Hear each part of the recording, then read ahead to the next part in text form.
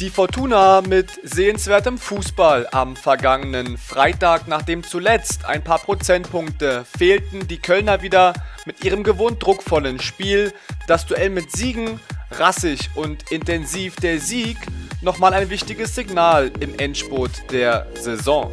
Ja, wir haben gewusst, dass Siegen eine sehr gute Mannschaft ist und dass du da einzeln gewinnst. Also haben wir schon viel Selbstvertrauen mitgenommen und das ist jetzt wichtig für das nächste Spiel gegen Viktoria, dass du da mit selbst, selbstbewusst hinfährst? Ja, ich glaube, wichtig war, dass wir äh, eben nicht nur ähm, wieder erfolgreich waren, denn auch die Punktausbeute vorher war ja äh, schon okay, ähm, sondern dass wir einfach zu unseren Tugenden zurückgefunden haben. Und ich denke, der allererste Schlüssel war, dass wir die Intensität dieses Spiels äh, angenommen haben, dass wir sie phasenweise eben auch vorgegeben haben, dass wir von der ersten Sekunde an einfach als Truppe sehr gebrannt haben, mutig nach vorne verteidigt haben, haben uns auch eine ganze Reihe an Möglichkeiten herausgespielt.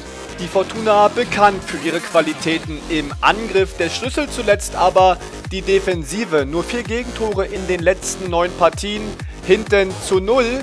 Das die Basis bei der Jagd nach Punkten. Also das ist immer wichtig, dass du kein Tor kassierst und dann brauchst du nur eins zu machen, um, die drei Punkte mitzunehmen. Und ja, also wenn du kein Tor kassierst, hast du schon mindestens einen Punkt mit. Also ist, jeder Punkt ist wichtig zurzeit.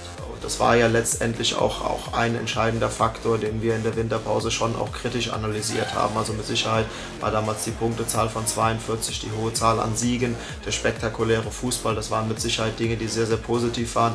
Aber wir haben eben in der Defensive zu viele leichte Fehler gemacht. Nicht nur beim Verteidigen, sondern vor allem in Situationen, in denen wir eigentlich in Ballbesitz waren, in denen wir äh, dann dem Gegner durch leichtsinnige Aktionen die Möglichkeit Möglichkeit gegeben haben, selbst erfolgreich zu sein. Diese Dinge haben wir in den letzten Spielen tatsächlich abgestellt. Wenn der Gegner zu Tormöglichkeiten kam, dann musste sich die auch entsprechend schwer erarbeiten. Und ich glaube, dann ist die Folge eben eine deutlich geringere Zahl an Tormöglichkeiten. Dieses Rezept soll auch im Derby wieder funktionieren. Es kommt zum dritten Duell mit der Viktoria. Neben Rivalität und Prestige die Fortuna dabei besonders den Relegationsplatz fest vor Augen. Viktoria Köln somit mit der Rolle des möglichen Spielverderbers.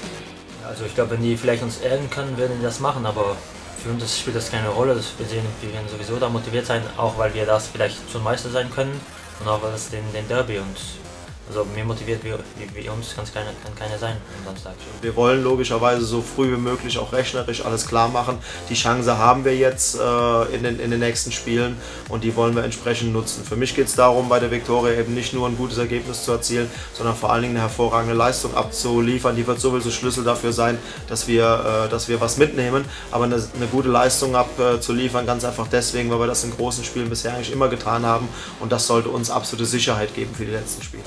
Die Fortuna also mit einem weiteren Highlight in dieser bislang so ereignisreichen Saison. Es soll nicht das letzte werden, das Derby, die nächste Station auf dem Weg zum ganz großen Ziel.